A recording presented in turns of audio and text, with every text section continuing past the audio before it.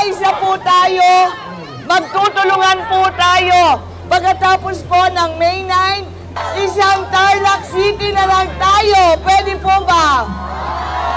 Para tuloy-tuloy po ang magandang progreso ng Tarlac City. Maraming maraming salamat po.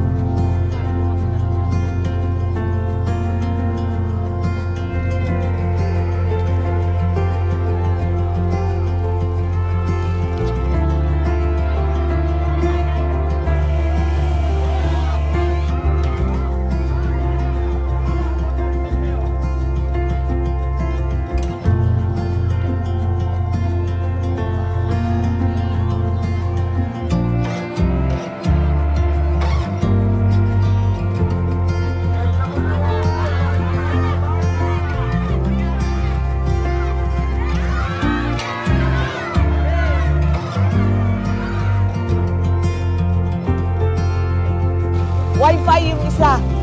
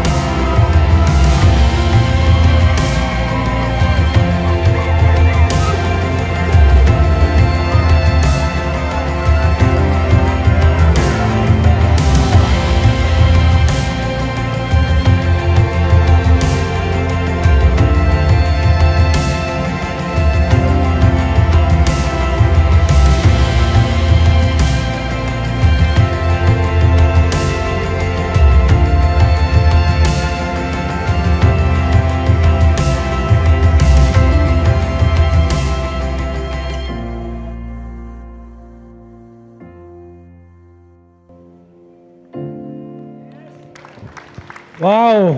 Wala na, okay na? Wow! Mayor! Parang nakakamiss ang mag-motorcade uli.